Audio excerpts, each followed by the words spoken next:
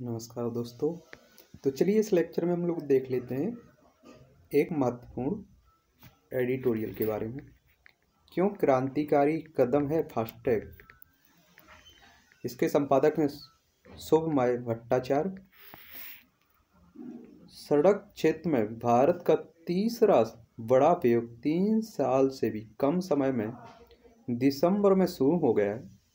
हालाँकि राष्ट्रीय राजमार्गों के टोल प्लाजा पर फास्टैग को अनिवार्य रूप से लागू करने की अंतिम तिथि 15 दिसंबर थी लेकिन सरकार ने लोगों को थो, थोड़ी रियायत दी। सरकार ने कहा है कि टोल प्लाजा पर कम से कम पचहत्तर फ़ीसदी लैंड को इलेक्ट्रॉनिक टोल संग्रह फास्टैग का इस्तेमाल करना होगा। सड़क एवं परिवहन मंत्रालय ने कहा है कि राष्ट्रीय राजमार्ग टोल प्लाजा पर 25 फ़ीसदी तक फास्टैग लेन को एक महीने के, एक महीने के लिए हाइब्रिड लेन बनाया जा सकता है। इसका मतलब है कि 15 जनवरी तक नकदी स्वीकार करेंगे, लेकिन वाहनों से जुर्माने के तौर पर दोगुना टोल वसूला जाएगा। हालाँकि लोग अब भी फास्टैग खरीद सकते हैं।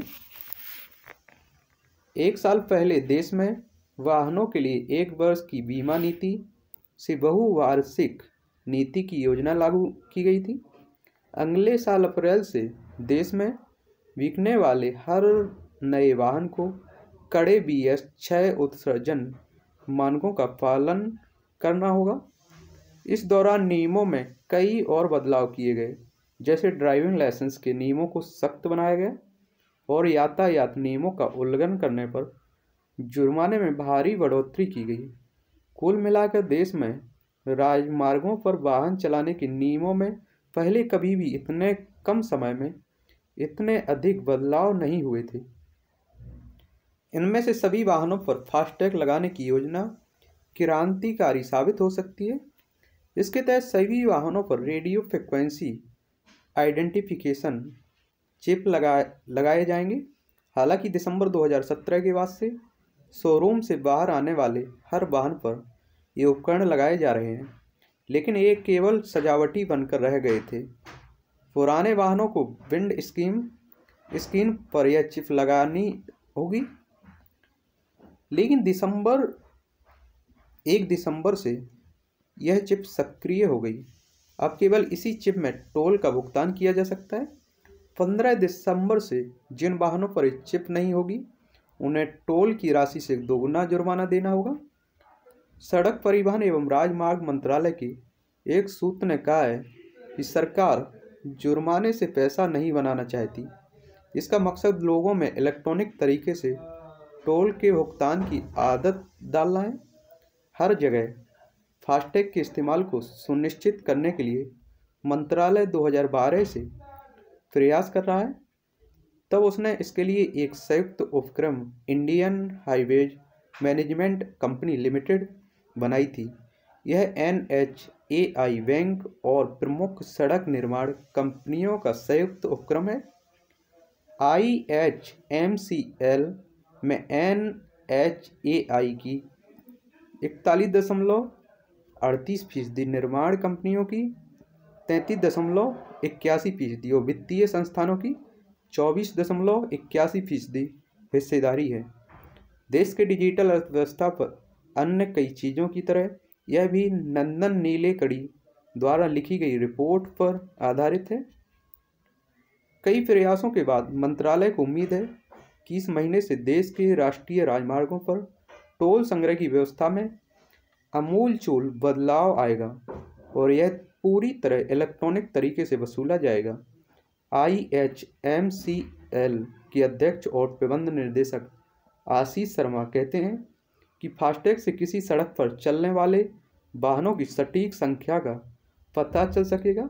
उन्होंने कहा कि इससे टोल ऑपरेट ट्रांसफ़र सड़क परियोजनाओं के लिए बोली लगाने वाली कंपनियों को सटीक आंकड़े मिलेंगे। तो उन्हें भी, उन्हें अभी नहीं मिल रहे हैं। जो अभी नहीं मिल रहे थे, उन्हीं के बारे में बात। साथ ही इन आंकड़ों से सरकार को भी इन परिसंपत्तियों की बिक्री में बेहतर कीमत मिल लगेगी। I H M C L के आंकड़ों के मुताबिक नंबर के, नवंबर के पहले सप्ताह में फास्टैग के ज़रिए बहत्तर दशमलव पाँच लाख टोल का भुगतान किया गया था। राजस्व के संदर्भ में यह संग्रह एक सौ तिहत्तर करोड़ रुपए से थोड़ा अधिक था। अगले पूरे महीने के लिए रुझान देखा जाए तो फास्टैग के ज़रिए टोल भुगतान की संख्या करीब तीन करोड़ होगी। इससे करीब सात सौ करोड़ रुपए का राजस्व आएगा। देश में कुल टोल संग्रह में फास्टैग की हिस्सेदारी तैंतीस, तीस फ़ीसदी से कम है, लेकिन सरकारी सूत्रों के मुताबिक पिछले कुछ सप्ताह में यह संख्या पचास फ़ीसदी पहुँच चुकी है। फ्राई फ्राई सावाटर कूपर्स की एक अध्ययन के मुताबिक, अप्रैल 2017 में सभी टोल प्लाजा पर ई टोल लेन देन की औसत संख्या करीब पचहत्तर लाख थी। याद रखिए, प्राइस वाटर कूपर्स के अध्ययन के अनुसार है।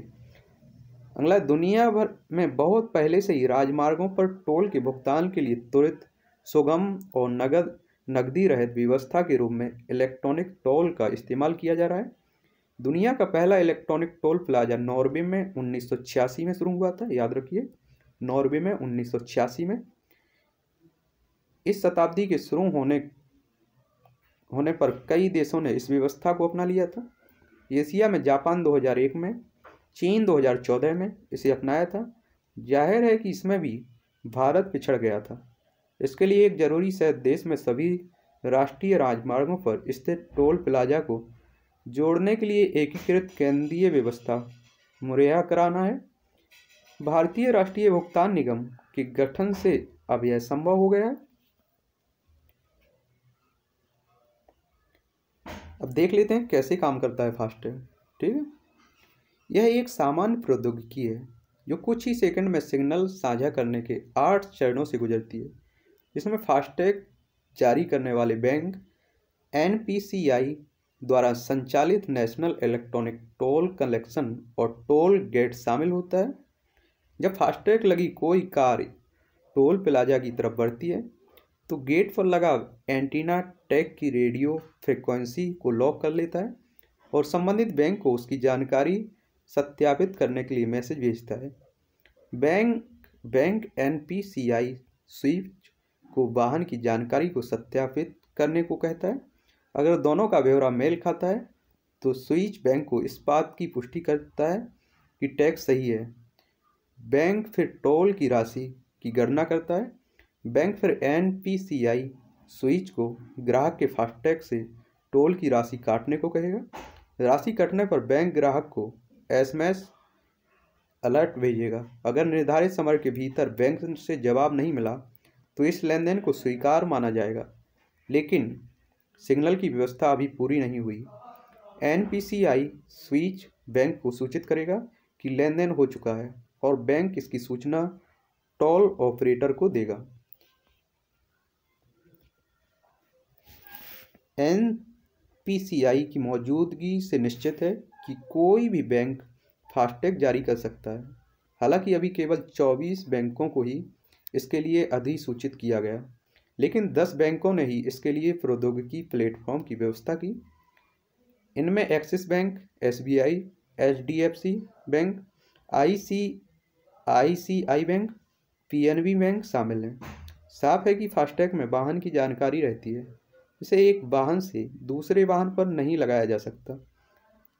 ग्राहक इसे अपने बैंक खाते से जोड़कर इसमें पैसा हस्तांतरित कर सकता है। या प्रीपेड प्रीपेड व्यवस्था अपना सकता है। दोनों मामलों में वे दो दशमलव पाँच फ़ीसदी छूट के हकदार हैं। लेकिन प्रीपेड अकाउंट के साथ यह समस्या है कि ग्राहक को इसे रिचार्ज करना होगा। अगर टैग में पैसा नहीं होगा तो यह टोल प्लाजा पर ब्लैक लिस्ट हो जाएगा और इसे दोबारा शुरू करने के लिए बहुत झंझट है। तो याद रखिए, अब जो फास्टैग है, इससे अब भी कहीं रुकना नहीं पड़ेगा। पड़ेगा आप लोगों को? टोल प्लाजा पर। चलिए तो ये था फास्टैग से संबंधित।